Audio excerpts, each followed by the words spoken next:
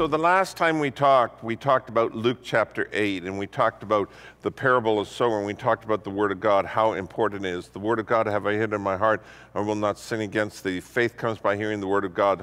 The Scriptures all inspired by the Holy Spirit. We talked about the importance of the parable of sower, where Jesus says the Word of God is the seed and it's planted in. Now, what Jesus does is he has four different areas he deals with, but the first one he says is the seed, the Word of God was planted and it was thrown on the path and the birds of the air came and ate it, and other people walked over and trampled it and crushed it so it was useless.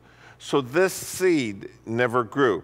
Now, what he's talking to you about is satanic supernatural robbery, where Satan purposely, after a sermon or after devotions, or when you're contemplating a scripture or memorizing a scripture, will steal it.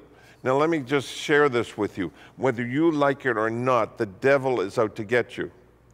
Be strong in the Lord and in his mighty power. Put on the full armor of God so you come against the devil's schemes. Ephesians 6. Now, here, here's my problem I have. Why are you not setting up stuff in your life to protect you so that the Word of God can grow? It says, and the birds of the air came and stole the seed.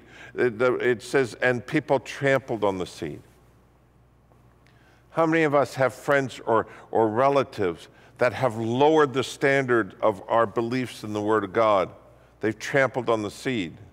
Or how many of us, because we're not paying attention to the sermon in church, our mind is everywhere else because we didn't go to bed early enough on Saturday night. So when we come to church, we're rested and we're giving God our best. If we treated our jobs like we treat the Word of God, most of us be fired.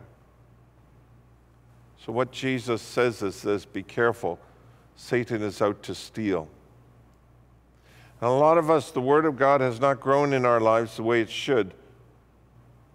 And the reason is we are letting hell, satanic, supernatural robbery, rob us of the most important part of our life the Holy Spirit inspirational word called the Word of God.